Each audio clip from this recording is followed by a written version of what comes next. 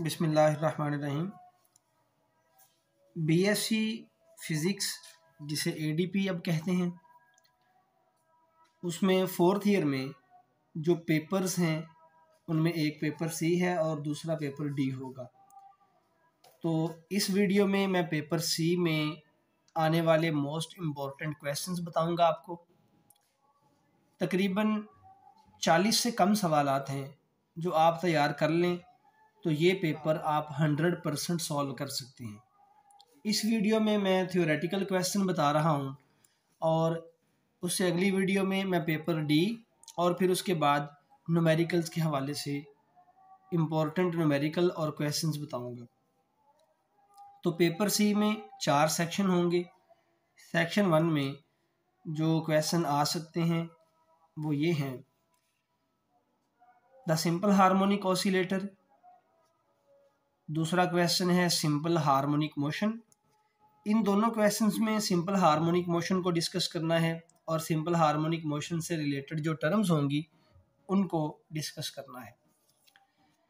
तीसरा क्वेश्चन हो सकता है energy consideration in simple harmonic motion हम सिंपल हार्मोनिक मोशन में law of conservation of energy को डिस्कस करेंगे। उसमें पोटेंशियल और काइनेटिक एनर्जी का ज़िक्र होगा।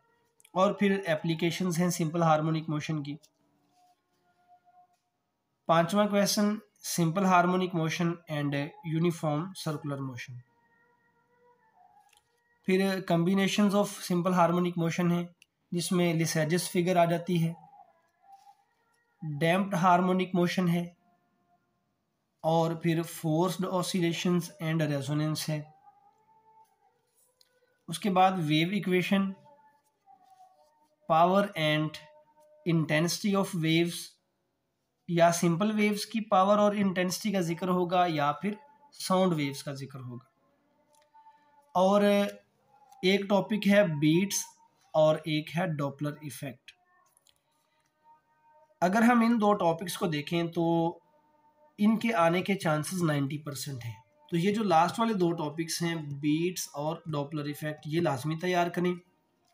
और उसके बाद यहाँ पे सिंपल हार्मोनिक मोशन वाले क्वेश्चन लाजमी तैयार करें। इसके बाद हम आ जाते हैं सेक्शन टू की तरफ़। तो सेक्शन टू में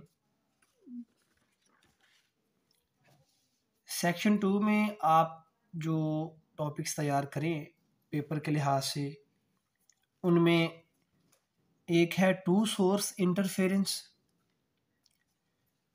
double slit interference है। कोहेरेंस है।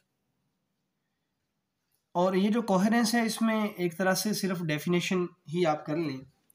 मैंने फिर भी कुछ टॉपिक्स लिख दिए हैं, जिनमें से मैं एंड पे बता दूँगा कि आप कौन कौन से टॉपिक्स अगर छोड़ना चाहें तो छोड़ सकते हैं। तो ओवरऑल चालीस से कम सवाल बनेंगे। वो मैं वीडियो के एंड पे दोबारा से बता दूँगा कौन कौन से अगर आप चाहें तो छोड़ सकते हैं। सेक्शन टू में चौथा क्वेश्चन आप करें intensity in double slit interference पांचवा क्वेश्चन है इंटरफेरेंस फ्रॉम थिन फिल्म्स और ये बहुत इंपॉर्टेंट है दो question Michelson's interferometer and Michelson's interferometer and propagation of light light किस तरह से प्रोपेगेट करती है ट्रेवल करती है उस हवाले से. स्पीड ऑफ़ लाइट है।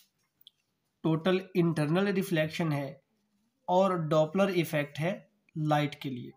लाइट वेव्स के लिए डॉपलर इफ़ेक्ट भी लाजमी तौर पे तैयार करें। तो इस सेक्शन में आप एक ये जो कोहेरेंस वाला टॉपिक है, अगर चाहें तो ये छोड़ सकते हैं और टू सोर्स इंटरफेरेंस ये भी छोड़ सकते हैं। बाकी टॉपिक्स लाजमी तैयार करें। इसके बाद हम सेक्शन थ्री की तरफ़ आ जाते हैं। सेक्शन थ्री में हमारे पास है single slit diffraction intensity in single slit diffraction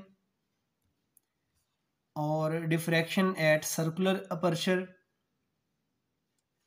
double slit and diffraction combined double slit वाला टॉपिक भी होगा और डिफ्रैक्शन भी हो रही होगी, दोनों को इकट्ठा डिस्कस करेंगे। डिस्पर्शन एंड रिजॉल्विंग पावर है एक्स रे डिफ्रैक्शन है। यहाँ पे एक्सरे डिफ्रैक्शन में साथ जो मोस्ट इम्पोर्टेंट टॉपिक है दैट इज़ ब्रैक्स ला वो भी इसके साथ ही होगा, वो भी तैयार करें। इसी के अंदर आ जाएगा। और होलोग्राफ होलोग्राफी है। ये वाला टॉपिक भी आप चाहें तो छोड़ सकते हैं।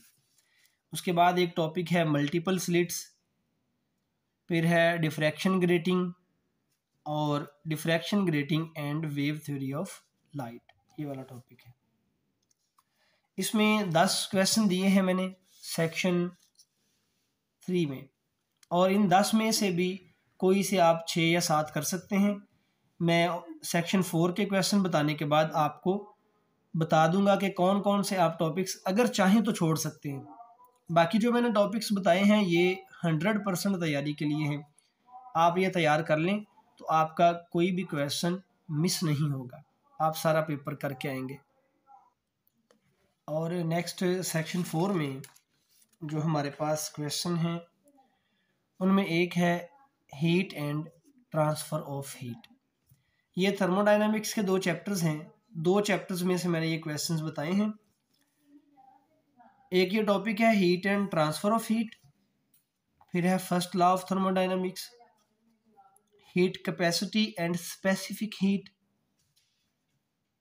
work done on or by an ideal gas इसमें दो टॉपिक्स बन सकते हैं। टॉपिक्स एक तरह से ही हल होंगे। वर्क डन ऑन गैस है या वर्क डन बाय गैस है। ये दो मुख्तलिफ़ टॉपिक बनते हैं।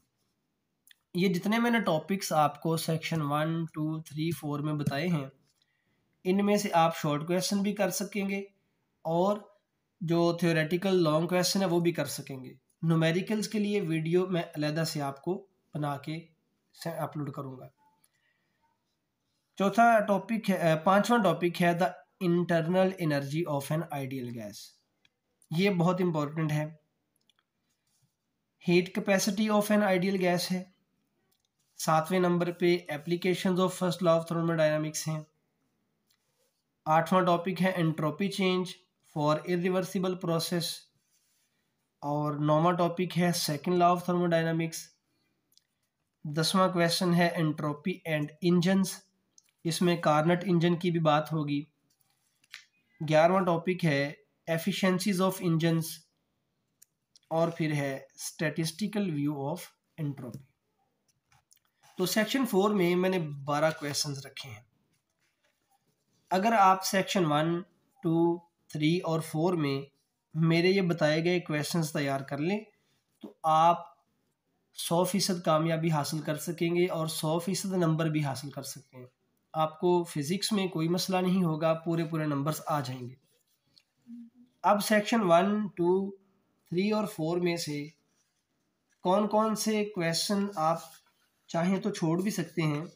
मज़ीद इसको बेहतर करने के लिए, मज़ीद शॉर्ट करने के लिए कोर्स वो बता देता हूँ। सेक्शन वन में से आप ये पहला टॉपिक चाहें तो छोड़ दें। ये उन स्टूडेंट्स के लिए है जो सिर्फ़ पास होना चाहते हैं या बहुत सिलेक्टिव करना चाहते हैं। तो फिर भी पेपर हंड्रेड परसेंट हो जाएगा। ये टॉपिक छोड़ा जा सकता है। उसके बाद आप इसमें से वेव इक्वेशन छोड़ सकते हैं और ये power and intensity of sound waves इसमें से तीन सेक्शन वन में से तीन क्वेश्चन आप छोड़ सकते हैं। सेक्शन टू की अगर बात करें तो सेक्शन टू में से आप ये पहला जो क्वेश्चन है सिंगल स्लिट डिफ्रैक्शन ये छोड़ सकते हैं, ये पेपर में नहीं आएगा। उसके बाद dispersion and resolving power skip किया जा सकता है, और ये मल्टीपल स्लिट्स ये वाला टॉपिक छोड़ा जा सकता है। तो बाकी इस सेक्शन में सिर्फ़ सात क्वेश्चन रह जाएँगे। अगर हम बात करें सेक्शन थ्री की सॉरी, ये सेक्शन थ्री था। तरतीब थोड़ी सी उलट होगी। सेक्शन वन के बाद ये है सेक्शन थ्री और अगर आप सेक्शन टू की बात करें तो सेक्शन टू में हम जो टॉपिक्स स्किप कर सकते हैं, उनमें एक इंटरफेरेंस है। और दूसरा जो है वो स्पीड ऑफ़ लाइट है। आप ये दो टॉपिक इनमें से छोड़ सकते हैं। और तीसरा है डॉपलर इफ़ेक्ट फॉर लाइट। ये भी आप इस सेक्शन में से छोड़ सकते हैं।